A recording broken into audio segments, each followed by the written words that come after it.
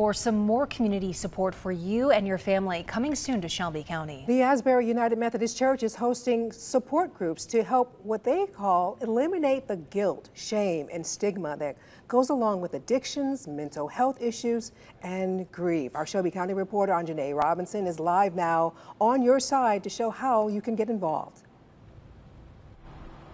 Well, Sarah Morgan, in the past, the church has hosted several of these support groups for caregivers, for mental health, for spousal loss, but now they're adding a new group for substance abuse. Now, the support group is a combination of education and group sharing. The first time the church, this is the first time the church is now able to host support groups for families and friends who know someone struggling with substance abuse. Now, this support group will meet every Monday starting September 11th, and folks 18 and older are encouraged to participate and meet with a facilitator who not only has personal experience with this topic, but also works for the Addiction Prevention Coalition.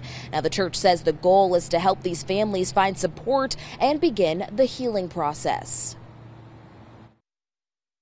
So, really, part of it is just coming once, coming twice, having the courage to come to one of those sessions, and then they find, you know, we find that they want to come back. And it's, it's so powerful for them and it's healing for them.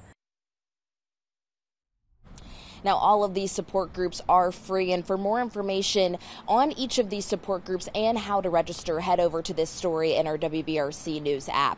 Reporting live from Shelby County, Anjanae Robinson, WBRC, Fox 6 News, on your side.